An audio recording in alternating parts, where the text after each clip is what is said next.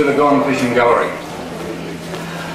This is a celebration, or originally we thought it was a farewell to the Curlew, and after having a look at, look at all this work last Monday when we put it up, I thought, no, this is not a farewell, this is a celebration this wonderful old boat, which was built in 1922, I think. And she's now going out of commission. I heard about this early in the year and went to Penny and said, we can't let her go. We have to have a nice farewell speech to her. And it's pretty evident when you look at all the uh, works of the young uh, kids who travel on the school, uh, on the on the ferry. You go to school every day, um, organised by um, Nettie Lodge. She did a workshop here with all the kids, and also the we opened the uh, invitation up to all the artists of the Pittwater to um, to come and exhibit, which they've done.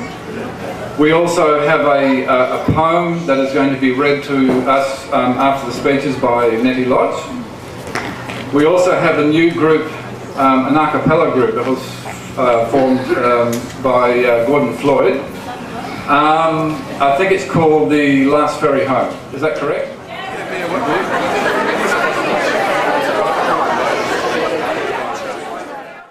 Now, I've got a question. Do you all want to hear the a cappella group sing now, or would you rather wait? Okay, now let's have it.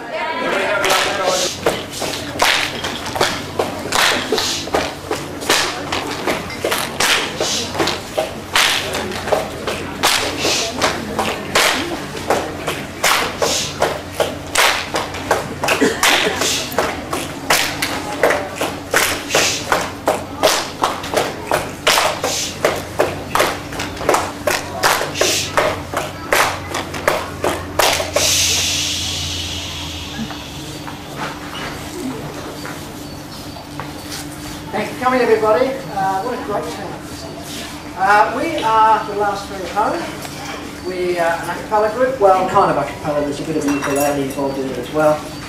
Um, we put through, put uh, together uh, a few songs for you, uh, based around. Uh, the first one, there's no truth in the rumour that Neil Young, the Canadian singer-songwriter, came to these shores to Pittwater in 1972 and was so taken with the Curlew that he wrote a song about it. But he did write a song about the ferry and we've adapted it for the Curlew.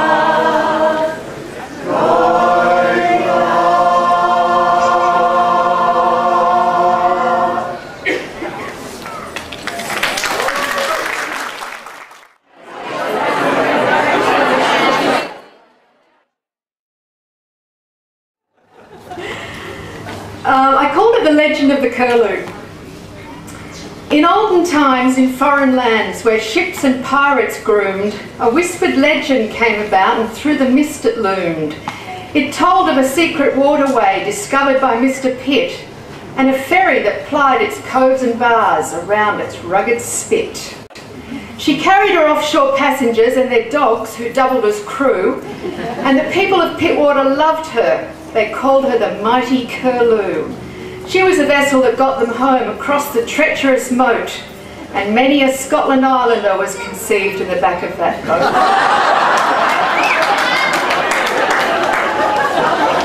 it was owned by Maury and Lenny, auspiciously part of a fleet.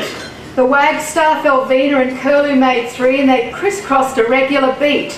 From Church Point to Bell and the Foreshores, around the island they went, through all kinds of weather at all times of day. Lenny drove it until he was spent. So he hired a teenage deckhand whose name was Laurie Duff. He gave him a hat and a box to stand on because Laurie wasn't tall enough to reach the Curlew's steering wheel and other navigational knobs. And when people pointed and laughed at him, Laurie yelled back, shut your gobs! Laurie Duff worked day and night, which made his colleagues nervous because he scrimped and saved and by age 18 he bought that ferry service. The transaction was audacious and attracted competition from a navigator called Darrell Stewart who concocted a proposition. He put his plan to George Bennett of Lovett Bay boatshed fame and together they bought a vessel called Grower, which put other boats to shame. It was strong and tough and they painted it black with its three-cylinder GM force and with evil intent to steal passengers, they stalked the Curlew's course. Pretty soon the rival, rivalry developed to a full-blown war with ferries charging everywhere in, a settle, in an effort to settle the score. Bugger the timetable, Laurie said, leaving earlier by the day, in an effort to thwart old Darrell and George, who'd already cleaned up in the bay. As things hotted up, Laurie, Laurie took the curlew off the street. He slicked her and tarted her up with paint till the ferry was looking a treat. On his way back from Beeshalls, he snickered with pride, but an ambush lay in wait. And the grower rammed as he neared Church Point. Laurie veered, but much too late. The curlew's hull was scratched to hell as Laurie leapt on that mutinous craft. I'll teach you, you bastard, he spat and he fumed while pushing his way to the aft. Then he spied a cargo of vegetables and, and his anger drove him right to the brink and he tossed every one of those organic boxes overboard into the drink. Eventually, things settled down a bit and Laurie and Lenny resumed his post the grower accepted she wasn't a match for Pittwater's rightful host. Who knows if they went away quietly, I doubt whether that was the case, for the ferry wars were notorious, stretching further than Ku-ring-gai Chase. the legend of Pittwater slowly grew, as did its population, whose offspring eventually warranted their own fairy destination. Full of yelling, shouting, biting kids, the curlew took them to school and any deckhand who worked this run was either brave or simply a fool. so Lenny skippered this rowdy mob alone with the engine firing until one day the youngsters caught him off guard by discovering the curlew's wiring. Down the back of the boat they tugged and pulled while Lenny had selective hearing and pretty soon the diligent buggers had dismantled the curlew's steering. well, the shit hit the fan, it must be said, as Lenny Duck wrestled the boat, but he skillfully landed the kids on dry land while keeping the curlew afloat. After that, Carmel came on board to keep the delinquents in check, and none of them dared to rattle her chain as she took control of the deck. As years went by, crew came and went, including one Mick Miller, who happened to skipper on a fateful day when he had charge of the tiller. It seems the curlew had sprung a leak and the water came flooding in. The bilge pump jerked and snapped in two, but Mick took it on the chin. As the waters crept up the passengers' calves and their shopping started to slosh, Mick beached that baby on Scotland Island amid superlatives more than just gosh. to the residents, it was a normal day, but the day, day trippers were disaffected Though Mick reassured them with made up place names and sent them away redirected. The massive storm on a Queen's birthday long weekend when a howling wind upended yachts that everyone tried to defend? It struck on the Friday at 4am while we were all still asleep. By six, it had tossed all the tinnies at Carol's into a scrap metal heap. Well, Catsy was driving the Curlew that day. He came into Bell with a thump. Then he blew off course and tried six more times. On the seventh attempt, he yelled, Jump! we braced ourselves as the ferry came in and, undignified, all did our best. Through the wind and the rain, we landed aboard while the bin lid flew off to the west. These are the days we remember most, the best of the Curlew days, and the languid hours spent to and fro in a mid-evening summer haze. The Curlew has seen us laugh and cry. She has heard our secrets as well. Like the fact that beep is beeping beep. I heard that between Tennis and Bell. But the Curlew's tribute would not be complete without the people who've given her grace, like Mr. George Engler, who informed day trippers that the island was an ASIO base. or Gentleman George with his bow tie and court, who caught her home each afternoon and offered each passenger a generous sip while singing a dulcet tune. So farewell to the Curlew and all who sailed her. Perhaps wooden boats have run out of luck, but her spirit and Lenny's are forever preserved in our youthful new ferry, El Duck. Now Penny and Simon will steer her forward while the legend of the Curlew thrives. But one thing's for certain in this place we call home, the ferries are all part of our lives.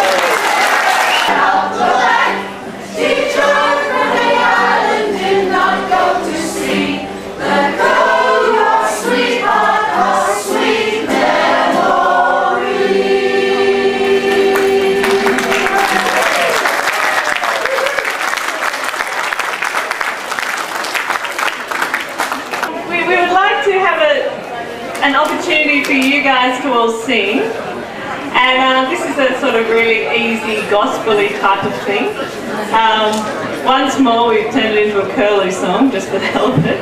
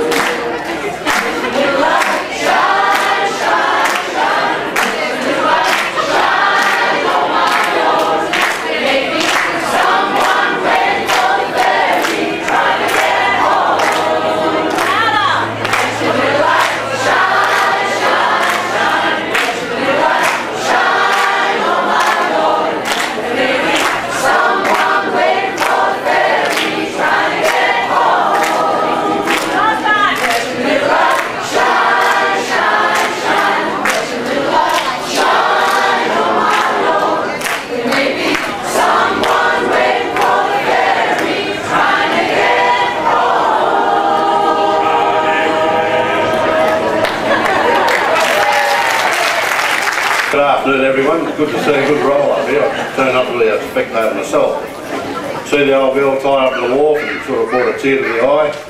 And I could tell quite a few stories about it. Actually, they condemned her at least 35 years ago, so I don't know what, what you're worried about now. she's still going. But no, she's spent many, many thousands of hours in the wheelhouse of the old girl. It's good to see it again. Good to see lot of That wasn't me either. Good to see a lot of people turn up here and show their respects to the old girl. It's good to see it. It's great. But she's got a lot of stories to tell. I've got a lot of stories to tell. But it is a good boat. Yeah, if somebody had money, won lotto, whatever, it'd be a beautiful boat. But uh, no, it's good. It's good to see you all here with an interest in, in, in ferries and old timber boats. Anybody got any questions?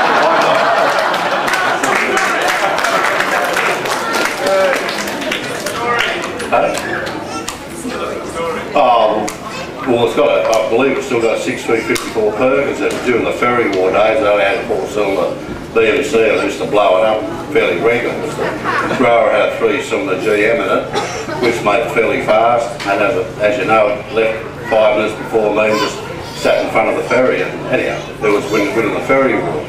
So after about three conversions of these four cylinder BMCs, I put a six cylinder Perkins in it. We went out to sea one night just to run it in. And oh, somebody left the carton of beer on board, so we had to drink that one out. and on the way back in, the submarine serviced alongside. So we, the empty stubbies were going to come back and put in the bin, which was you know, the right thing to do. But instead they got hurled at the conning tower of the submarine. I just hope it was one of ours, which I think it was. But, um, but she, she went the run the next day and I was on board the Curlew and I went over to Bell Wharf and Darrell used to get in front, if he got in front of the 315 run, he, he picked up all the passengers. So I let him drive alongside me and he was stupid looking grin on his face, he went to overtake me. I pulled the throttle back and made a level with him. He, he'd never seen this before in his life. Didn't know we put the six on the Perkins in it. Anyhow, with, with that, I just pulled the throttle back and just left him. The Curlew made a sheet off. And that was a turn in the ferry wall you know, the faster boat. So I got there first. But no, she's a, you know, it's good to see. Good to see people interested in it. But yeah, I didn't come in at all, so. but it's very, very good to see you all here. Thanks very much.